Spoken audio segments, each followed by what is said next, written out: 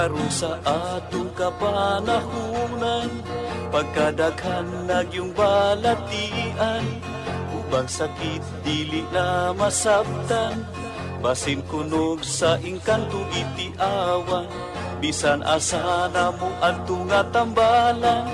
Muingon nga kuno gidautan. Inay gibati maalibyuhan laing sakit hinuon ang nahidugang apan isusigyog paayo o gitun-an sa bagyod ang tinuod nga hinungdan nganong sakit nga karon perting pagdagsan nagadugang sa problema kalisdanan. Ginausisag yung paayo giistudyohan sa mga inventor na diskubrihan. Tungo di ay sa pagpatuyan ug sa atong sayop nga mga naandan ug karon ato nang nasayran aron matulid makurihian. Ubang sa tambal gikan sa kinaiyahan kining paagi na diskubrihan. Doktor Alternatibo Uban ni Doktor Idilibo Pagpanambal way side effect Kay puro natural Doktor Alternatibo Formulang aprobado. Sa katauhan sa Diyos gihatag sa kita maayo Doktor Alternatibo Uban ni Doktor Idilibo Pagpanambal nga way side effect kay puro natural. Doktor Alternatibo Formulang sigurado. Sa katauhan sa Diyos gihatag sa kita maayo.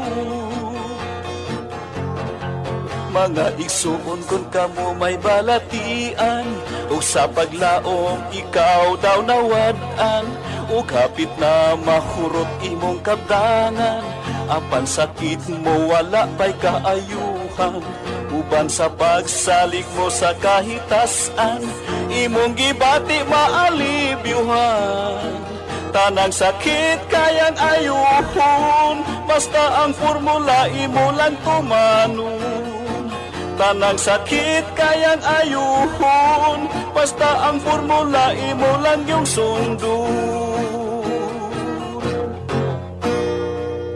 Doktor Alternatibo, programang tumatalakay sa alternative medicine batay sa Republic Act 8423 o Traditional Alternative Act of 1997. Tumatalakay din sa impinsyong Pinoy at alternatibong agrikultura.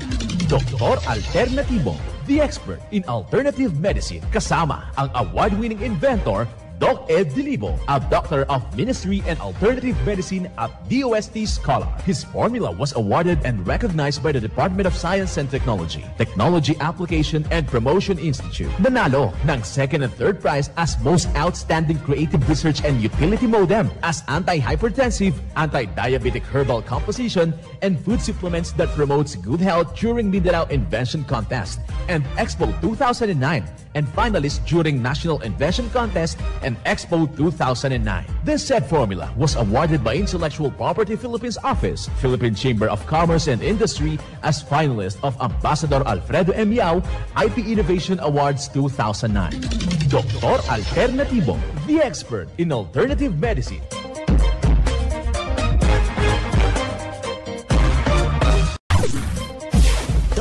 Dr. Alternativo with award-winning formula ay nagpapatuloy sa advokasya ng alternative medicine and natural healing. Now with Doc Alternativo, Chief Operations Officer, Mr. Edgar Delibo Jr., inventor at chairman ng Product Information, Education, and Communication Committee ng Inventors Association. At sa panguna na rin ng matatag na leadership ng co-founder at inventor, Madam Magdalena Neng Delibo. Member of the Board of Directors of of the Inventors Association. Dr. Alternativo, the expert in alternative medicine.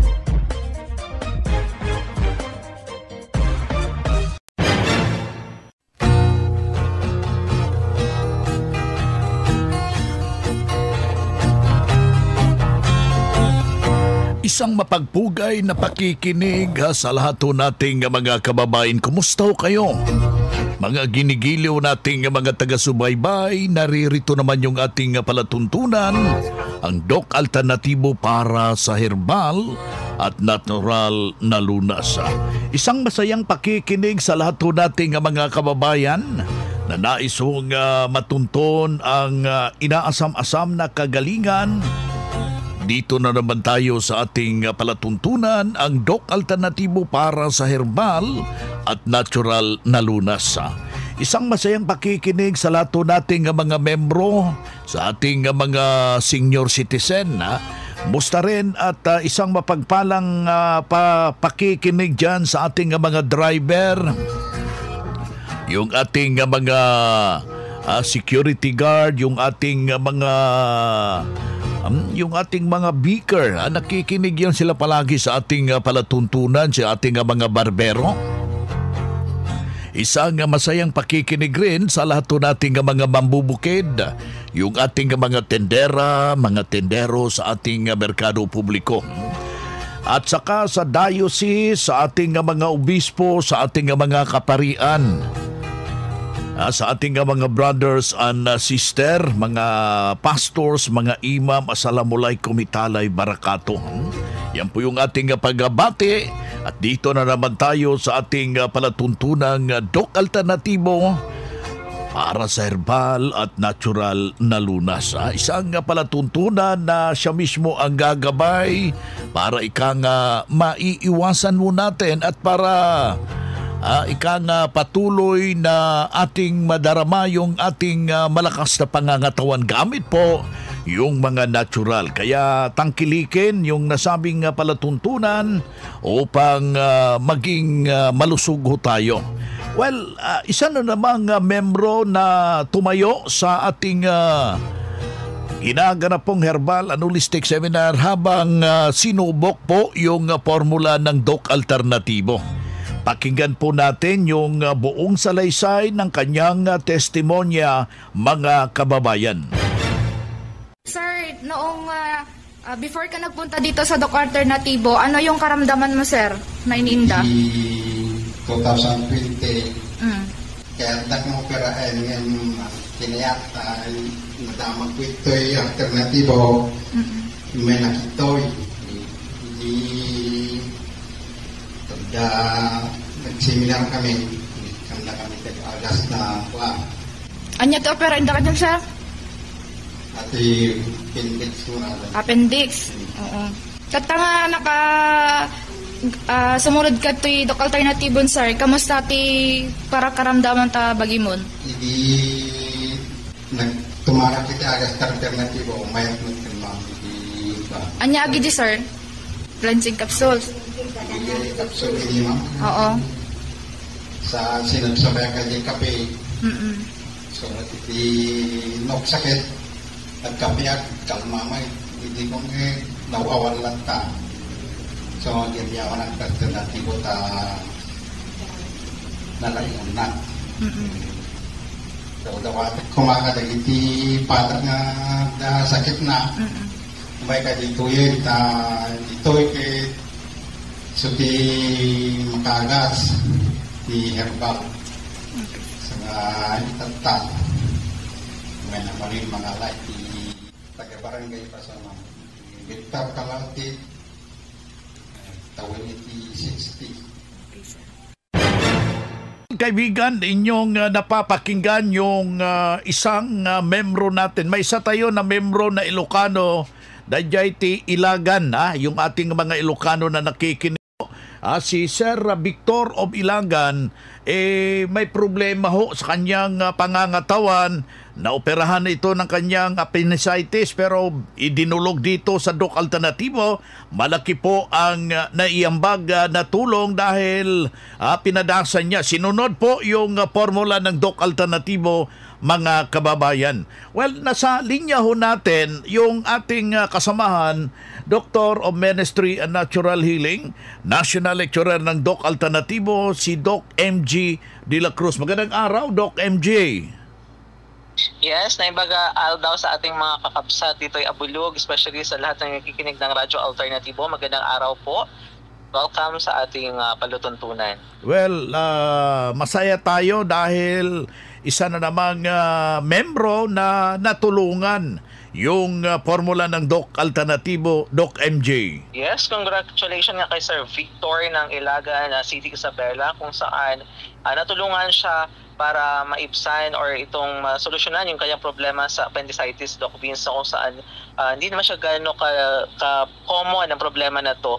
So nagkakaroon ng problema dito dahil sa build-up ng mga tinatawag nating ah, bakterya papunta doon sa ating appendix na kung Mhm. saan kung lalaki na siya Vince or dadami, nagkakaroon na ng pag, pag ah, tawag ito, pag ah, putok So, ang appendicitis is cause ng mga bakterya. So, huwag tayo magpadala na sabi ng iba dahil sa pagkain ng mga buto-buto. So, hindi po yan totoo. So, Mhm. mostly nagagaling po yan sa bakterya kung hindi tayo normal na magbawas. So, ito ang problema ni Sir ah, Victor, no, natulungan siya sa pamamagitan ng paggamit ng cleansing formula ng Doc Alternativo na kung saan talagang ah, pinagtutukan niya para malinis yung internal bodies niya, malinisan, especially yung colon. And of course, ah, sinabayan niya ng mga produkto, nandiyan yung fulvic mineral, at iba pang mga produkto, healthy products na kung saan talagang ah, sinunod niya yung mga binigay sa kanyang health guide at payo ng ating mga Dr. Ministry Natural Healing and of course ng ating branch in charge sa Mailagan branch. Ayan, napakaganda po yung resulta. Kaya hinihimok ko natin yung ah, ating ah, mga kababayan kapag meron kang iniindang problema na nais mong ah, masolusyonan sa madaliang panahon, eh kailangan lang po natin yung ating ah, partisipasyon, lapitan ho natin yung ating ah, mga branches at magpa-check up o may counsel, libre na po yung ating counseling para mabibigyan ka ng agarang solusyon, kaibigan. Si Doc MJ De La Cruz, uh, Doctor of Ministry in Natural Healing, at the same time ang ating National Lecturer ng Doc Alternatibo, ating nakasama ngayong mga oras na ito. Mga makinarias na dekalidad at may seguridad. Ito na ang Doc Alternativo Machinery. Doc Alternativo Machinery. We fabricate, customize, and deliver nationwide. What are you waiting for? Dito na tayo sa Doc Alternativo Machineries. Matatagpuan sa 201 Km 7 MacArthur Highway, Bangkal, Davao City. Or Building 1, door number 14, Usa Village, Olas, Davao City. Pwede kayong bumisita sa mga branches ng Doc Alternativo nationwide. Pwede din kayong tumawag sa hotline number 082-225-8771 o mag-message sa Doc Alternativo Machineries Facebook page. Doc Alternativo Machineries. Mga ka-alternatibo, meron ba kayong mga katanungan ukol sa kalusugan na nais ninyong iparating sa amin? I-text lamang po ang inyong mga katanungan sa ating hotline 0946-967-3211 at ating sasagutin dito sa Itanong Mo sa Doc Alternatibo.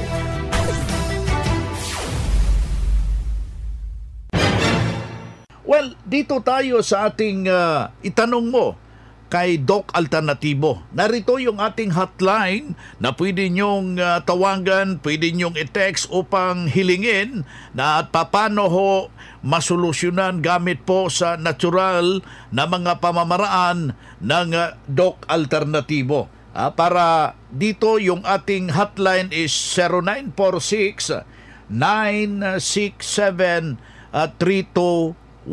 Aking ulitin, 0946 967-3211. Ating makakasama ngayon si Doc MJ De La Cruz, Doctor of Ministry Natural Healing, at the same time ang ating National Lecturer ng uh, Doc Alternatibo. Unang tanong sa hotline natin, Doc MJ, Doc, uh, ano po ang uh, kaibahan itong uh, magnesium ascorbate ng Doc Alternatibo? Para saan ito sa Doc? Maraming salamat.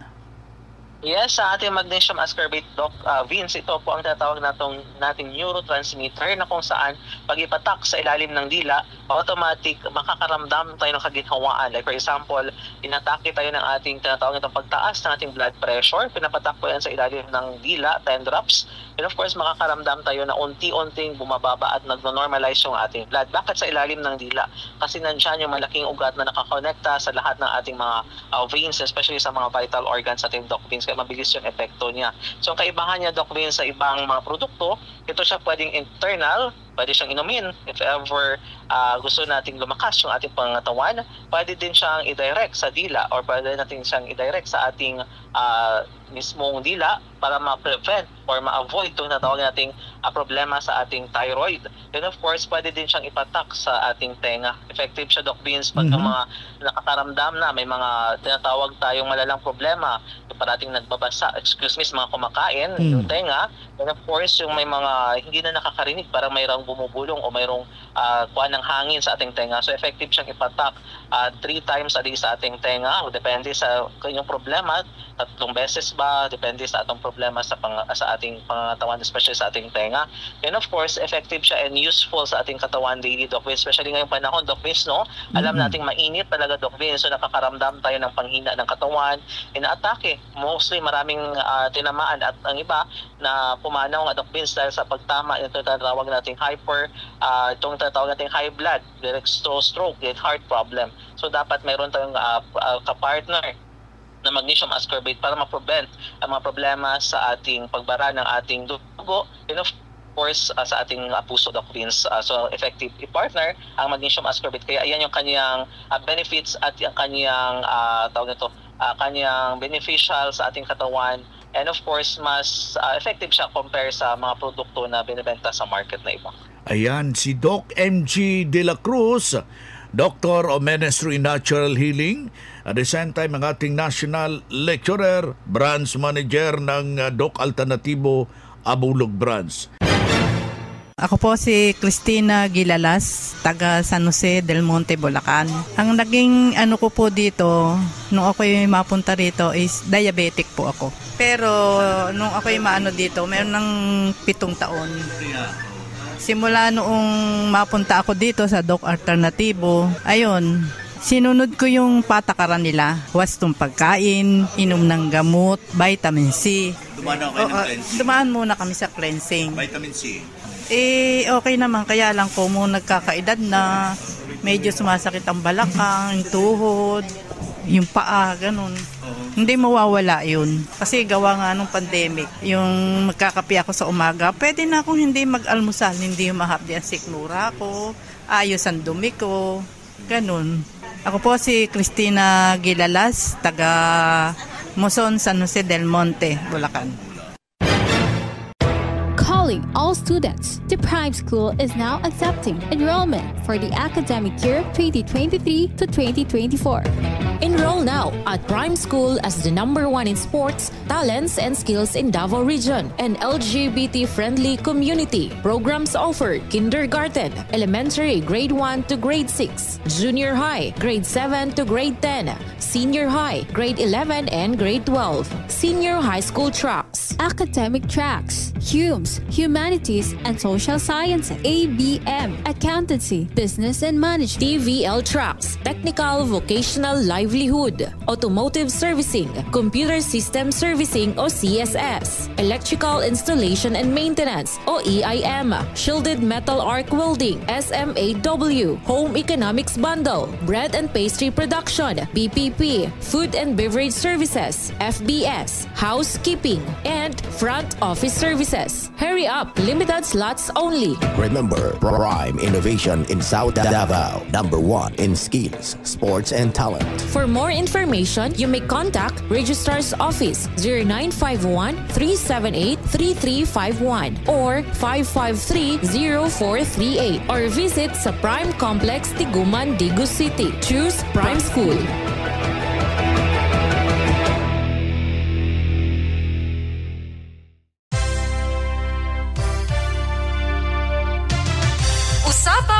Pangkalusugan. Usapang pangkalusugan. Kasama ang Doc Alternativo Foundation. Usapang, Usapang pangkalusugan. pangkalusugan. Magandang araw mga ka-alternatibo, Luzon, Visayas at Mindanao. Andito na naman po tayo sa Usapang Pangkalusugan. Ang pag-uusapan po natin ngayon ay isang uri ng gulay na masarap. Ayon sa Natural Nutrition Council ay tinawag itong superfood gaya ng malunggay dahil ito po ay may maraming vitamins at minerals. Ito ay angkulitis o spinach. Angkulitis po ay may maraming tinik. Meron itong gluten na makikita sa wheat at barley grass. Meron ditong lysine na magtatanggal ng anxiety o pagkapagod at may kakayanan itong magpagaling na sugat sa madaling panahon. Meron po itong B vitamins. Sa kaalaman ng lahat, ang B vitamins ay B-complex.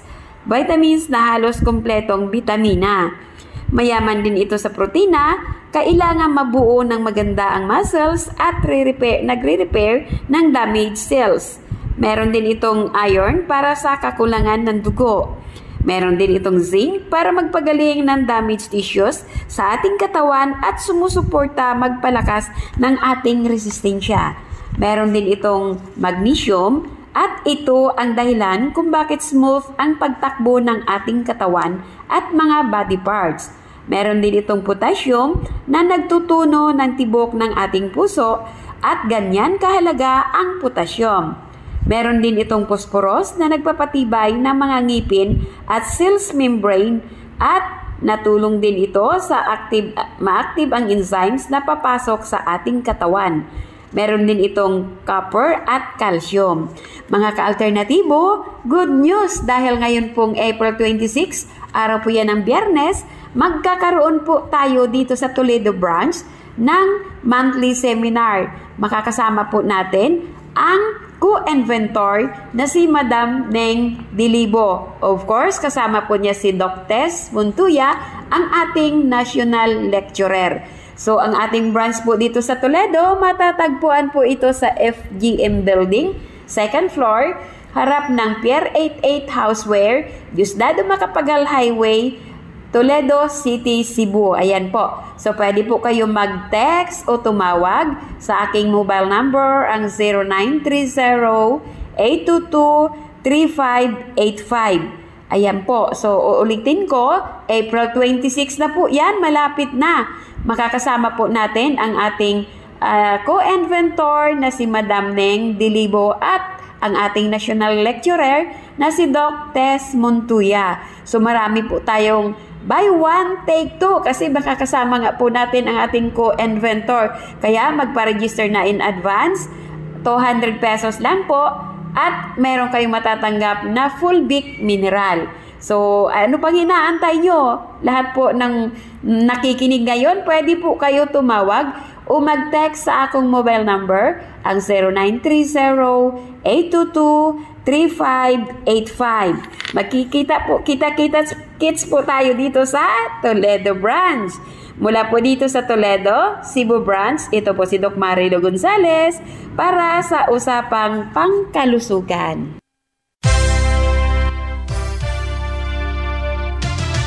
Usapang pangkalusugan. Usapang pangkalusugan. Kasama ang Doc Alternativo Foundation. Usapang, pangkalusugan. pangkalusugan.